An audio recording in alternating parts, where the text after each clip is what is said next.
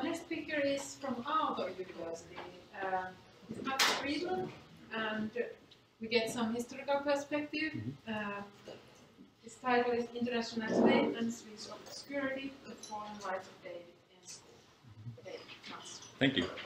Well, uh, first, um, yeah, let me introduce myself a little bit more. Yes, Mats Fridlund is my name. I'm uh, associate professor of the history and industrialization at Aalto University. I've been here in Finland now for almost four years. Came here in 2013, uh, and I'm a historian, historian of science and technology. And I must say, I'm very glad to be here today to talk today because what I'm going to talk about, this is going to be a little bit different talk, I think, from many of the others, in the sense that what I'm going to talk about is something that I've finished. This is a finished work, and it's actually, in, to some degree, my first finished work ever. Uh, it's, it's, and it's sort of what brought me into this field. And in some ways, it's fair to say that without Pierre Bourdieu, I would probably not be standing here today. Uh, and that's sort of what I'm going to talk about because. Uh, in a way, the, it's a little bit double entendre, so to speak, the title here, Researcher's Career from Swedish Obscurity International Acclaim. Okay, maybe not a claim, but nevertheless, it's both about this person that you see here on this picture, David Enskog. Um, but it's also in some ways about myself also, uh, because what I'm going to talk about, as I say, is a project where I used Bourdieu to analyze a scientific career, or rather the forming of an academic habitus, in a sense. And it was also a, a process that not just sort of was used to analyze, but in some ways it's also used to form my own academic habitus, to a sense. As I said, this is already published. It's published in, in this book, Central and Periphery, a book about Swedish history of physics. Uh, and uh, like this, International Claim and Swedish Obscurity, The Fall and Rise of David Enskog in Svante Lindqvist uh, Center on the Periphery, Historical Aspects of 20th Century Swedish physics. So what I'm going to talk about, and this, I hope, I don't think, I don't think, so... Circulate the book. Sure, can circulate the book. That's fine. Uh, I think, I hope, but I don't think that you probably have read it since it's been pre-circulated. But I mean, so I'm, but I'm, so I'm going to give a little bit sort of a talk through the story. But in a way, I'm hoping more to talk through the story so that you want to read it, uh, maybe more.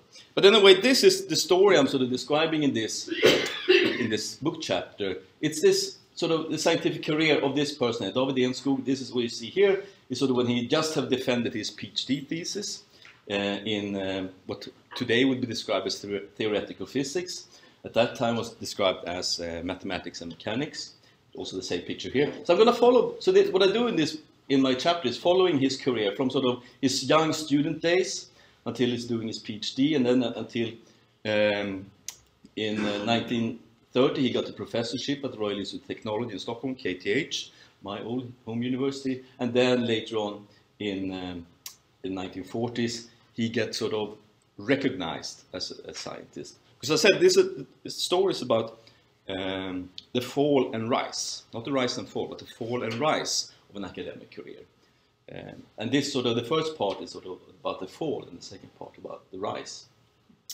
Because I'm, what I'm doing here, sort of, I'm following David Enskog from his student days when he sort of, he was not from an sort of upper classes in any kind of way, and he sort of more or less was discovered as being a very bright uh, kid, and then was more or less talked into actually shouldn't just go to university, and he, he didn't, he and his family didn't have the money, but then thanks to uh, the father taking a bank loan and thanks to some sort of wealthy relatives, he in the end managed to get uh, uh, into the university. But also part of, and that's part of the story here, he got into university because he basically, uh, in that time you had to go sort of uh, in a secondary school.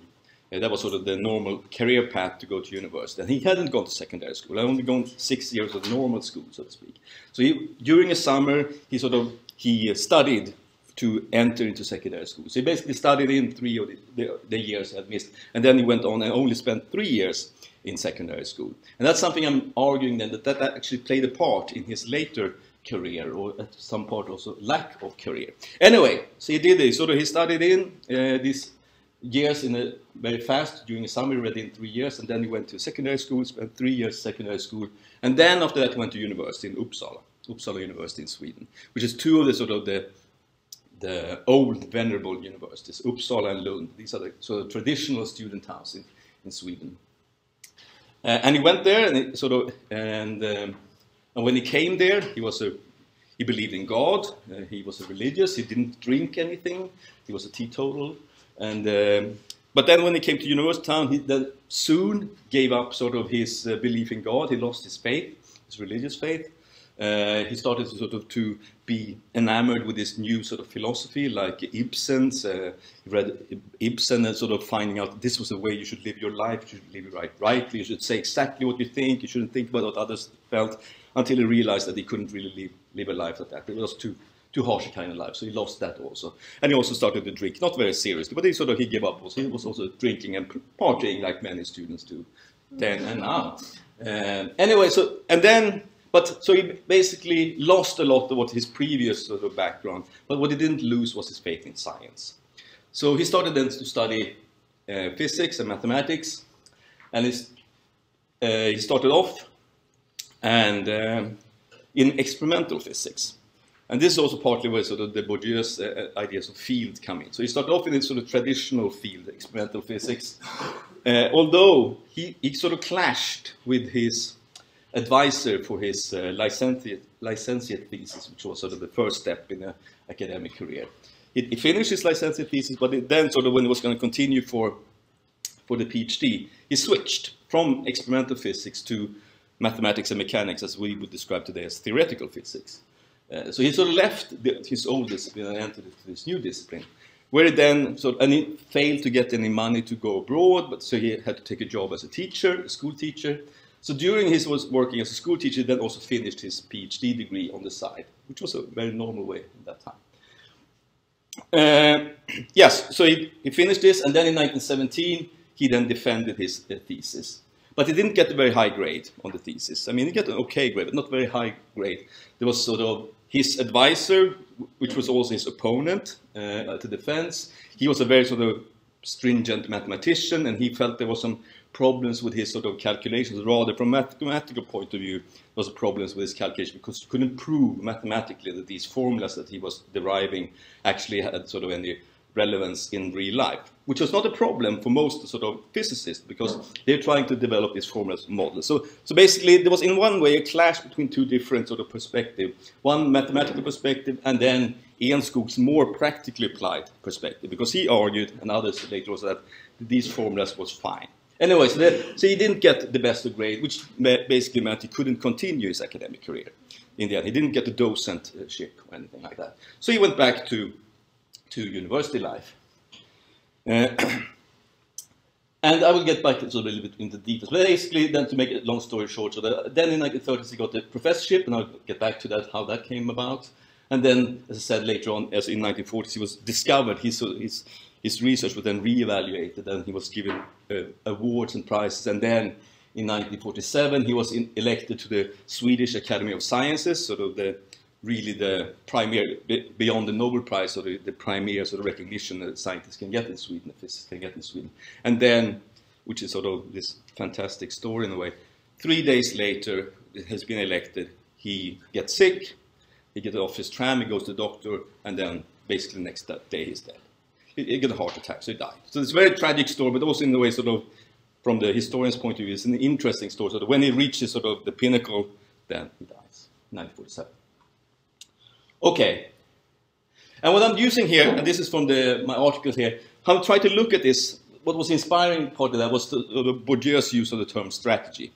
Uh, so the, in a way, sort of, and that's sort of what I'm arguing part that Enskog's strategy uh, for his career didn't sort of, he, he choose what would, would describe as a subversive strategy. And when I'm using strategy, I don't mean it sort of that this was something he was thinking. He might have been thinking so, but I don't have any evidence of that. This was something that we afterwards can say, we can see this as a, this kind of strategy, a, a sort of a subversive strategy contra the more normal succession strategies. So I'm going to get back to that, but before that, I want to sort of stay and take a look at another, in some ways, peri peripheral physicist. That's me in 1984, or shortly thereafter, when I began also at the same university as Enskog then became professor at. Uh, when I started, began studying engineering physics, I diploma diplom engineer, you would say here in Finland, at KTH, Royal Technology. And, so, and in some ways, I mean, I had a similar background as School. I, was, I didn't, no one in my family really had made any, so had a, an academic career, so uh, I was quite good in school and so on. So I chose sort of engineering physics. And when I came there, sort of soon there was a question that popped up for myself because I felt just my fellow students and I, we were different. We were not, I mean, and I couldn't really understand why. Because in a way, we more or less had the same kind of amount of money to sort of spend. We have more or less the same amount of smart uh, IQ or whatever. And, we, and I also, sort of, I knew, knew, the codes, the culture codes. So in a way, I couldn't really understand what this, it's just, this was something different here. This was not really my place, and I didn't know why. So I had this question. Anyway, then in 1987, I took a course, a small course, one credit course, equivalent to one ECTS today, in history of technology with this person here, Svante Lindqvist, professor in history of technology. And in this course, uh, was six lectures, and then you're supposed to write a short paper, two to four pages long, I believe the paper should be. And I, and I sort of, I wanted to write a paper about uh, what was the Swedish reactions to the atomic bomb? The day after the atomic bomb, was, how was the Swedish reaction to it? By looking at newspapers. So I was thinking, okay, go. that's what my topic is going to be. So I went up and I was going to sort of, you have to sign up for your topic, but then that topic was taken. Okay. So then I chose my second best topic, and this was to write this short biography about this unknown scientist I never heard about before, David Enskog, uh, Swedish theoretical physicist.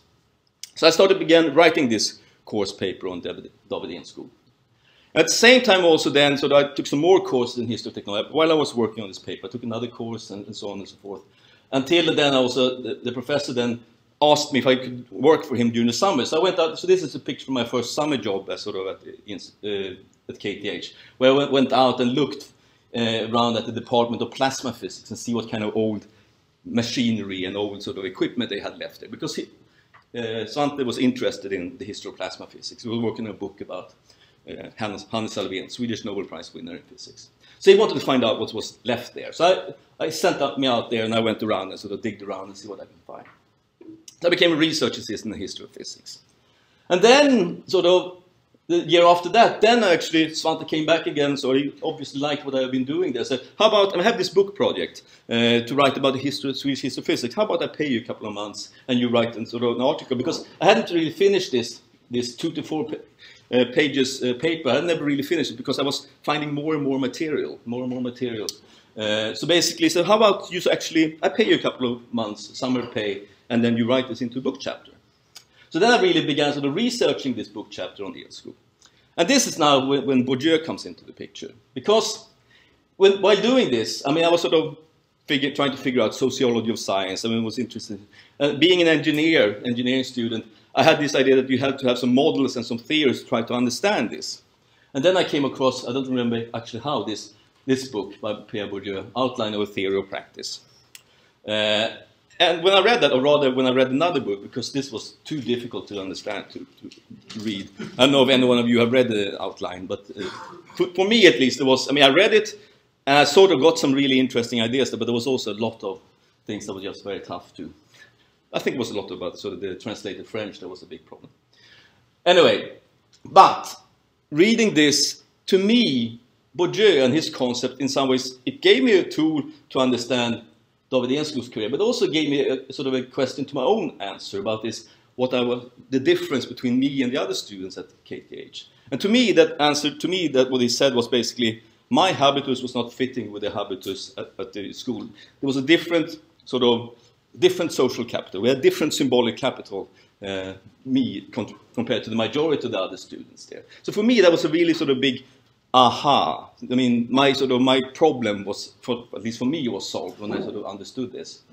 What, what, what, because I couldn't before, I couldn't really put my finger on what, what was this? Because, as I said, we were all as smart, we basically more or less more the same money and so on, and we all sort of uh, had behaved in the similar kind of way. So, but it was just something different there. And to me, symbolic capital answered that. So then, to make the long story short, and in 1993 the book was published, and then more or less the same year I actually became a PhD student in history of technology. And then I continued. Okay, so now I want to go back to a little bit sort of to the Bourdieu story and to the sort of the story and leave my story aside and go into David Enskog's story. So this is sort of what I then read and said. outline theory of practice. But then really, what really made me understand how to use this was actually this uh, report by Donald Broady, um, Swedish um, higher education sociologist, have been working with Pierre Bourdieu. And he wrote this sort of report about kapitalhabitusfält, några nyckelbegrepp Pierre Bourdieu sociology, which really made me understand made this into useful tools uh, to understand how to really use this theory. This. And then also I came across of this article, I mean, the specificity of the scientific field and social conditions of the progress of reason, which was, was, was then, as far as I understand, the only thing where really Bourdieu had used this applied to science. At the same time, also Homo Academicus came along, and I sort of read that, but and there was some interesting things there, but there wasn't really exactly. I hope I had bigger hopes that it was actually going to be useful than it actually was. Okay, but let's get back to David Enskog then, because as I said, it's a story about the fall and rise. And the fall is sort of the first part of his career here. And to me, looking at this, sort of, what, why, in some ways, Enskog failed uh, in sort of achieving this academic career was because he hadn't really, he, he lacked the appropriate symbolic capital and says that he hadn't been long time enough in the sort of, in the secondary school, being really schooled in the, the habitus of an academic, or rather as a university student academic. And so, and also then later on, the, the, habitus that he had that had been formed in that period then clashed with his more experimentally inclined uh, professor that was advising him. It was not just he was an experimentally inclined, it was also very sort of patriarchal and sort of, uh, to some degree, authoritarian personality. And Enskog coming from sort of really free thinking background, religious free thinking and so on, and not really being schooled all the way then in this sort of the habits that were preparing for them. And so in some ways you could say he didn't really understand the roots of the game. He didn't really understand sort of what was uh, what was uh, asked for, from him in that sense. Which I argue then was sort of part of why he then switched to the theoretical physics, and that was sort of the, the choice of what Bourdieu would call a subversion strategy uh, rather than the succession strategy. The succession strategy going in sort of in the accepted normal way of sort of doing an academic career. So for me, that's sort of that's how I sort of that's how I, with the glasses of Pierre Bourdieu on me, sort of saw this first part of his career. That was the reason of his fall. But then it's the interesting part. The second part is sort of when it really gets interesting. It got interesting because uh, there was a big problem there that I very soon, or question, that I very soon sort of discovered when I looked at the career of David Enskog. That was in 1930 he became professor at the Royal Institute of Technology. And I was looking at sort of the official material sort of, of the expert ranking him and ranking the different sort of applicants there. And, and he, and you can see in, this, in the official material there that sort of uh, was given two first positions and then a, a fourth position by one of the experts. Uh, while the other, his, sort of, his competitor was given uh, two first positions also, and then a third position. So he should have been chosen.